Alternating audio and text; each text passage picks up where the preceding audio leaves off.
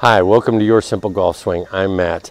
Today I want to talk about a cool new tool, toy that I got that you might be interested in getting for yourself if you've got an, uh, a backyard setup like I do. I got this neat little ball dispenser here. It's pretty awesome. You just hit the little button, arm comes down, and it delivers the ball right on a tee for you.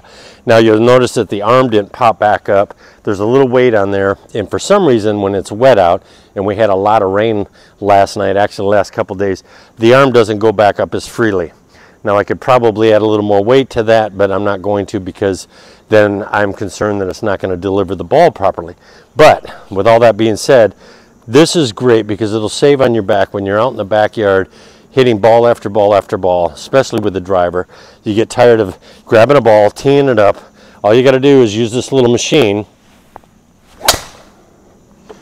swing away, hit another ball, and again it's wet so the arm's having trouble going back up. Just hit it with a club like that. It's a lot better than leaning down.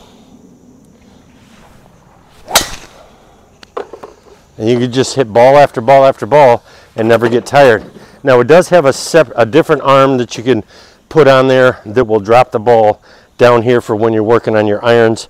But since I'm always moving back from club to club, I don't bother using the other arm. What I'll do is I'll simply just go ahead and let it tee one up, knock the ball down like that with my iron, and then go ahead and hit.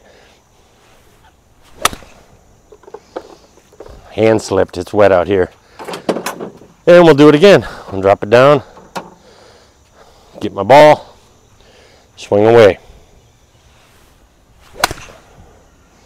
So it's a neat little device. I'm going to leave a link for it down in the description if you want to check it out, maybe get one for yourself. It's it's operated by levers and gravity. There are no there's no electricity, there's no batteries. It's it can sit out here in the weather. It's complete. It's all plastic with a couple little metal parts in it. Um, it's got holes in the bottom of it so the rain will just wash right through it and you don't have to worry about dumping the water out of it or anything. It's a great little device. I absolutely love it. And I got to say, I do recommend it because it allows you to get more repetitions in without all the bending over, especially when you're, you're hitting your driver. I just fill it up with golf balls and just swing away. It's a great little addition to your back down, backyard practice area. Thanks for joining me. Have a great day.